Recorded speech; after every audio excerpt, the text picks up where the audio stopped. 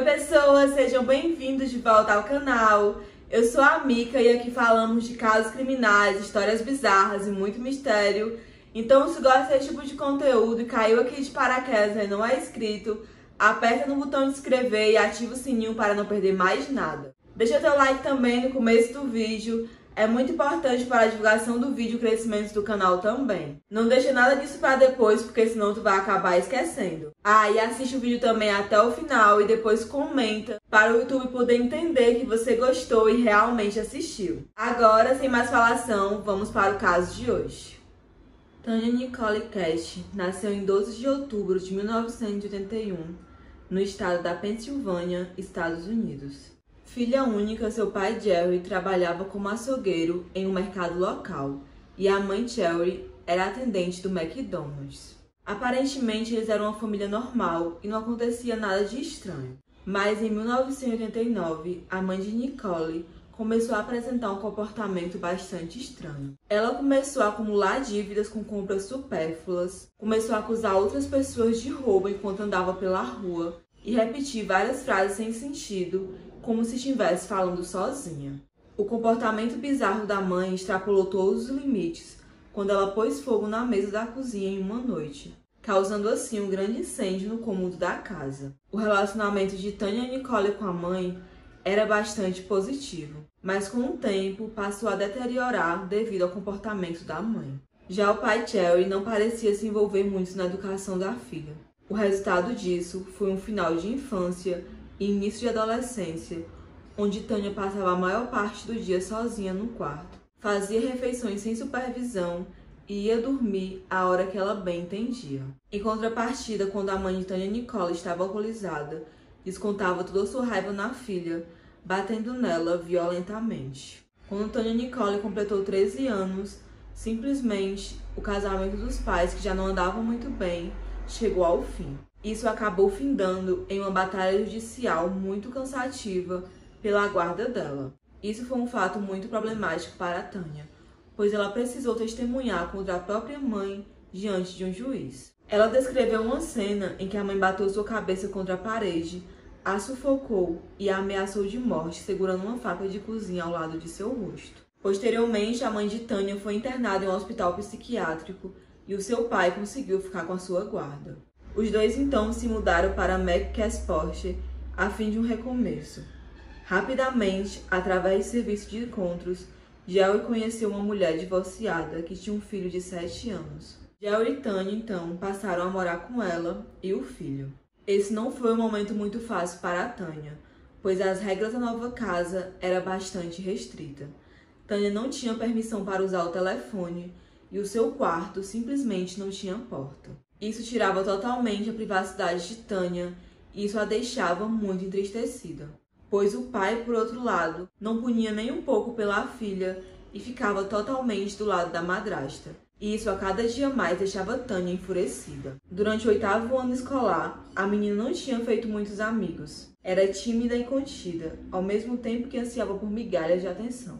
Então ela foi acolhida por um grupo de alunos que matava a aula e se envolvia constantemente em brigas. Com a péssima convivência na casa do pai e da madrasta, não demorou para que ela logo começasse a fugir de casa, e seu destino era sempre procurar a mãe em busca de afeto.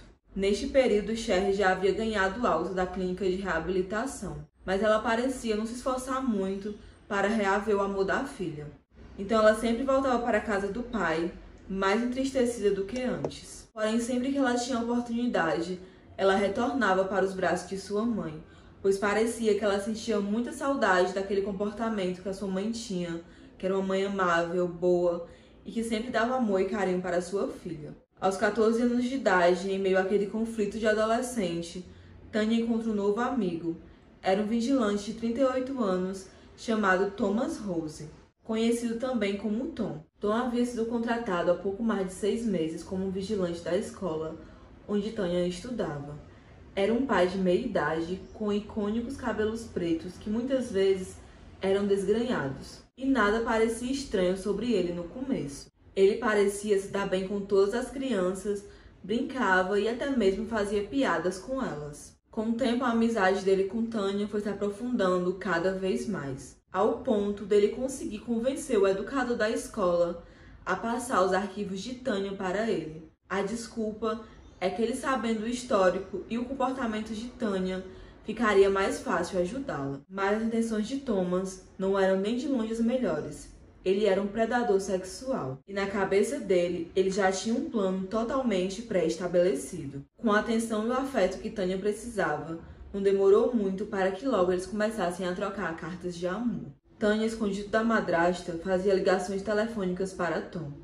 E foi a partir daí que o relacionamento excedeu os muros da escola. Durante uma tarde em que matava a aula, Thomas encontrou Tânia embaixo das escadas da arquibancada e os dois finalmente se beijaram. Fato esse que se repetiu nas semanas seguintes. Tempos depois, Tom convidou Tânia para ir à sua casa. Ele ainda morava com os pais e dividia o quarto com seu filho Justin, ainda uma criança. Ele disse à garota que os pais não estariam em casa e combinou com o filho que deveria manter segredo ao conhecer Tânia. Os dois assistiram um jogo de futebol no quarto de Tom e após isso eles fizeram sexo. E essa foi a primeira vez que Thomas Rose abusou de Tânia.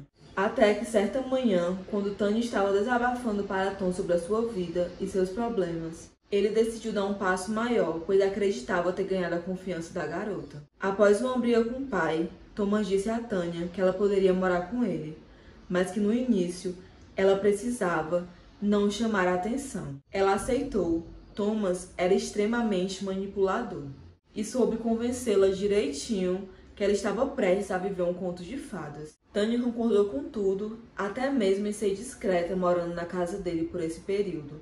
Ela só queria se livrar daquele ambiente que ela mora com o pai e a madrasta. Então, em fevereiro de 1996, Tânia simplesmente sai de casa. Ao chegar na casa de Tom, ela simplesmente ficou atordoada, sem entender o que estava acontecendo, pois ele simplesmente a trancou em um quarto vazio e não a deixou sair de lá. O pai de Tânia, por sua vez, ao dar falta da filha, pensou que se trataria apenas de mais uma fuga para a casa da mãe e que a garota estaria de volta nos próximos dias. Então, com isso, ele decidiu não reportar o desaparecimento de Tânia para a polícia.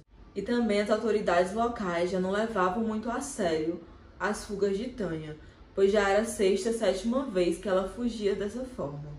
A mãe de Tânia, Sherry, ao saber o desaparecimento da filha e perceber que ela não havia chegado em sua casa, entrou em desespero.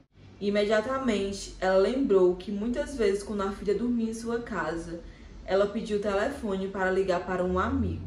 Ao encontrar o registro telefônico, Sherry falou com Tom que negou manter qualquer relação com a garota ou saber do paradeiro dela. Ele disse que era apenas o vigilante da escola. Mas a mãe não ficou satisfeita com essa resposta, pois claramente era muito estranho isso. Afinal, como ela faria tantas ligações para alguém que ela não conhecia, que era simplesmente um vigilante? Em contato com a polícia, Sherry descreveu o acontecimento. A investigação optou por revisar a casa de Sherry, Jerry e também a dos vizinhos, para os quais Tânia eventualmente trabalhava como babá, e nada foi encontrado. Com o passar do tempo, a situação estava se tornando cada vez mais preocupante. Semanalmente, Tom agredia Tânia e a violentava frequentemente. Após 24 meses do desaparecimento de Tânia, a polícia local encontrou o corpo de duas jovens na mesma cidade. O caso de Tânia veio à tona, pois os policiais relacionaram seu desaparecimento aos corpos encontrados e suspeitavam que havia um serial killer na região.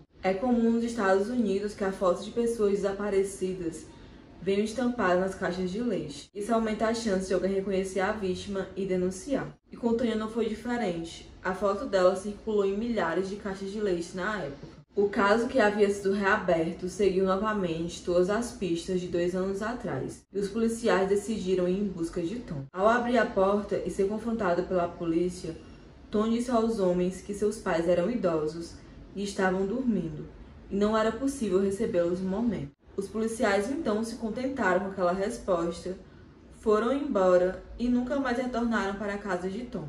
Com o passar dos anos e notícias de Tânia, sua família perdeu a esperança de tentar encontrá-la. A mãe de Tânia ficou devastada. Depois de anos no cativeiro, ele fez com que Tânia mudasse sua aparência, pintando o cabelo, cortando e até mesmo a rebatizou de Nick Allen. E como supostamente os pais de Tom não sabiam da presença da garota, apenas o filho de Tom, no qual ele manipulava, para que ele não contasse para ninguém, Tânia passou a morar na casa de cima, de dois cômodos, e dormia os três no quarto. Existia também algumas regras que precisavam ser seguidas, já que ele tirou Tânia daquele quarto que ele havia trancado lá na primeira vez. Ela só poderia assistir televisão usando fone de ouvidos, caminhar na ponta dos pés para não causar barulho e usar um balde para fazer suas necessidades. Thomas permitia que ela tomasse banho duas vezes por semana no porão durante a madrugada. E caso ela ouvisse o barulho de alguém subindo as escadas, deveria se esconder no armário. E todas as vezes que Tom mantinha relações sexuais com ela, ele anotava no caderno para assim evitar uma gravidez indesejada. Até que as más condições de higiene e uso de roupas sujas começaram a contribuir para um quadro extremo de psoríase na pele de Tânia. Seu corpo todo era coberto por lesões que lhe causavam intensa coceira. Tom também era bastante exigente em relação ao físico de Tânia.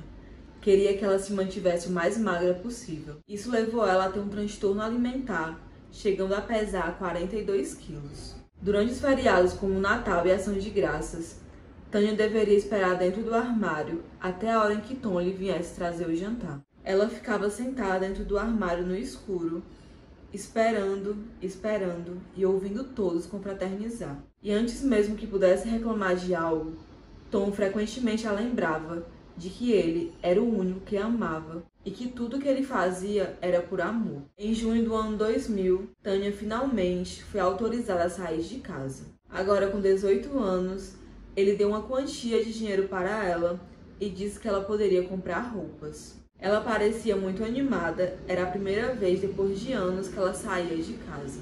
Nessa mesma época, ela foi apresentada como Nick, sua namorada para os pais de Thomas. Tom permitiu que Tânia também pudesse arrumar um emprego usando seu nome falso. Ela iniciou trabalhando em brechó local e logo ela foi contratada em uma loja de conveniência. Seu chefe na época, Joe Sparico, ficava incomodado com as respostas invasivas de Nick sobre seu endereço telefone e algumas informações pessoais que eram pertinentes para seu contrato. A partir daí, seu chefe Joey começou a achar que ela era vítima de violência doméstica e estava em uma relação abusiva, e ele queria muito ajudá-la. Após muita insistência de seu chefe, Tânia resolveu contar tudo e pedir que Joey mandasse a polícia até sua casa. Perplexo com tudo que acabara de ouvir, Joey disse que faria, mas que ela deveria voltar para casa e fingir que não disse nada e aguardar a batida policial. Assim que Joey relatou a história para a polícia, rapidamente o Centro de Pessoas Desaparecidas confirmou a identidade de Tanya Cash. E dentro de uma hora, a polícia cercou e invadiu a casa. Tom desceu as escadas correndo e Tanya, pela primeira vez, o enfrentou, dizendo: Finalmente tudo está acabado. Ela reuniu seus pertences e foi escoltada pela polícia até a delegacia. Seu depoimento foi gravado e nessa época ela já havia completado 10 anos de cativeiro.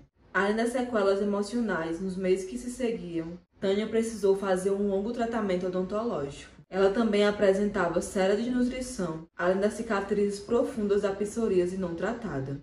Thomas Rose foi acusado formalmente pela justiça em 2006 duas semanas após a denúncia. No ano seguinte, ele confessou ser culpado. Em 26 de junho de 2007, ele foi condenado a uma sentença máxima de 15 anos de prisão, sendo negado sua liberdade condicional cinco anos depois. Também foi presa a cabeleireira Judith Sacol, que, segundo os promotores, mudou a aparência de Tânia para que ela aderisse à identidade de Nick Allen. Considerada cúmplice do crime, ganhou 23 meses de prisão, somados a mais 4 anos de condicional. Tanya Cash finalmente estava livre, e no começo ela mal parava de repetir a frase: Estou livre agora.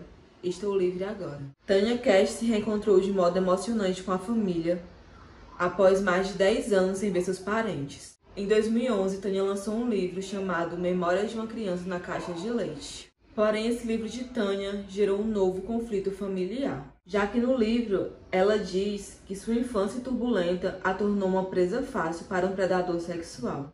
Tânia foi processada então pela madrasta e pelo próprio pai, com quem não falou pelo menos três anos até ação na justiça. Tânia também relatou que o relacionamento com a figura paterna sofreu grande desgaste. Meu pai começou a me culpar pelo que aconteceu, dizendo: Você sabia o que estava fazendo?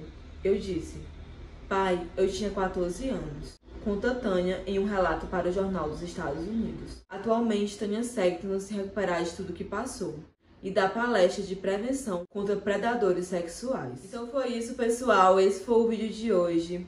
Teve um final feliz, apesar de 10 anos de vida perdido. Eu espero que vocês tenham gostado. E não esqueçam de me seguir nas redes sociais, deixar o like aqui, se inscrever se ainda não é inscrito. Compartilha também com um amigo que também gosta desse tipo de conteúdo. E até o próximo vídeo. Tchau!